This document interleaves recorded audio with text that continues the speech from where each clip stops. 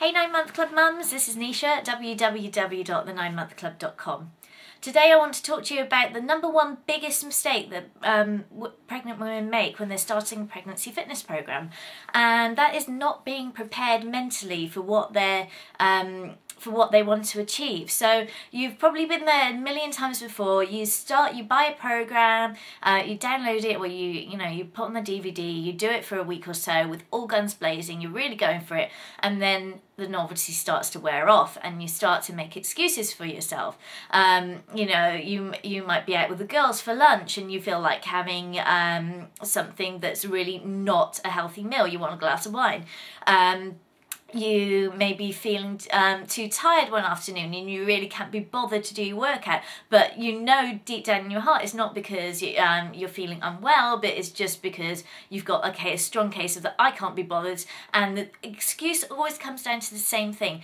Um, no matter who you are during your pregnancy all of us women have the same idea um, as we go through the first few weeks of our pregnancy. And that is um, you know, I'm pregnant. It doesn't really matter. It doesn't matter if I have, uh, you know, an, a, a brownie every day. It doesn't matter if I have, you know, a, a, couple of glasses of wine at the weekend. It doesn't matter if I have um, a tall latte every day. I'm pregnant. I, you know, I want to treat myself well. I want to, I want to feel like I'm relaxed during my pregnancy, and I can't be bothered to hold myself accountable to my normal health and fitness goals. So you know, it's fine if it happens occasionally, but what always happens in the first few weeks of pregnancy is we get carried away with it because we think we can eat what we like, we can't see the weight going on necessarily because we're pregnant anyway, and um, we'll get to about 20 weeks and this happens all the time. I've had so many people join up my community and come to me asking you know i'm 20 weeks i've eaten so much i haven't done any exercise and i don't know what to do. Is it too late to get it back? No, no, no it's not too late to get it back but you need to be mentally prepared to do it. So, you know, there's no point just going and trying to do a pregnancy fitness program and thinking, yeah, I'll do the nutrition now, I'll do the exercise. If you haven't actually um, sat down with yourself and, and asked yourself um, deep down inside you, what do I really want out of this? So, Today I'm going to teach you the most powerful tool that I know of um, to keep you motivated and on track um, during um, your pregnancy fitness program but in fact you can apply this to any other area of life where you want to achieve a goal. Um, so get your journal, get a pen and let's go through this.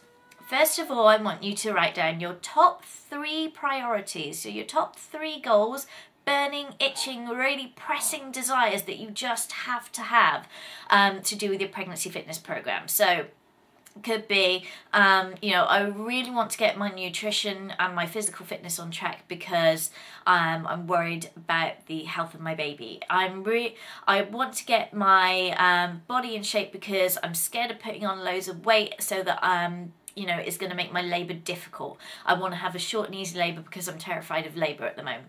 Um, I want to um, get myself prepared mentally because I want to have loads of energy through my pregnancy. I want to be a healthy and fit mum after the baby is born. You know, I want to be able to recover quickly so that I have enough energy to provide for my baby. And I want my self-esteem. I want to feel confident myself. I want to feel proud of my figure. I don't want to feel depressed. I don't want to feel ashamed of my body. So all of these things things um, you need you need to look at. So top three goals, burning itching desires. And then underneath those burning itches desires, I want you to list your deep true emotional need why you want to have that um reason that goal. So it's not because it would be nice to be in shape because you know that's a bonus. Or yeah it'd be nice if i could lose my um weight quickly after having a baby. That's a bonus. Your true emotional burning um need is um is going to elicit an emotional response. So it would be something like if i don't um if I don't control my pregnancy weight gain, I'm going to put on loads of weight. I'm going to be really unfit. I'm going to have a terrible time in labour. Um, I'm not going to be fit enough to look after my baby properly. I'm not going to have the energy that I need to stay positive and, um, you know, surround her with positive vibes and teach her about normal emotional responses during life. And, um, you know, I'm not going to have any self-esteem. It's going to affect my relationship. Any, any of those kind of things which are true deep down emotional desires. So that are your reasons why. So keep asking yourself why in answer to your first response until you elicit an emotional deep response and you'll know when it's true because it'll strike a chord deep inside of you. So we've got your top three priorities, um, and now we've got your deep pressing needs, why you've got to have these goals, why they're important to you. And now comes the good part. This is how you are going to get results, and this is the most powerful thing that you can ever use to get your results, and it's all about taking action. So I want you to list for each of these goals um, one action that you're going to take tomorrow to take you closer to that goal. So that could be I'm going to plan all my meals for the week and do my grocery shopping so that I'm not unprepared and I'm not caught out and stuck for ideas when it comes to meals and I, you know I'm going to stick to my nutrition plan. Or it could be I'm going to do a 15 minute workout today. Or it could be I'm going to drink two and a half litres of water.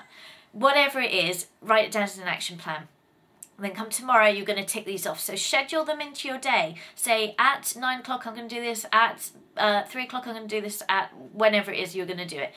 Get them done. Set a reminder on your phone, set an alarm, whatever you need to do, get them done. At the end of the day, when it comes to about six o'clock, I want you to sit down and ask yourself, have I done my actions from today? If the answer is no, ask yourself why not. Am I making an excuse? If there is an excuse, write it down because you'll notice that that excuse will come up again so you can stop yourself in your tracks next time. If you've made excuses and you haven't got them done, ask yourself, have I still got time? This is why I say do it at six o'clock. Have I still got time to do this before I go to bed tonight? If the answer is yes, get it done. Then once you have all your actions done, ask yourself, how do I feel? Am I proud of myself that I've done all this today? Do I feel um, confident? is my self-esteem great? Um, do I know that I'm making um, great progressions in my pregnancy business? Do I know that these goals are going to be a reality really soon because I am taking action every day? And you can see how this builds momentum over time. So if you're taking three actions every day that take you closer to your fitness goals, pretty soon you're going to be there. You know, you're going to see results happening within 7 to 14 days time. So come and join us on the challenge. This I've issued this challenge to my pregnancy fitness community already. I'm now wishing it to you. So if you want support on this challenge and you want to go um, and do the challenge along with other mums who are all blogging the progress, the goals and all the rest of it, come and join us at www.the9monthclub.ning.com and I hope to see you there. Okay, bye.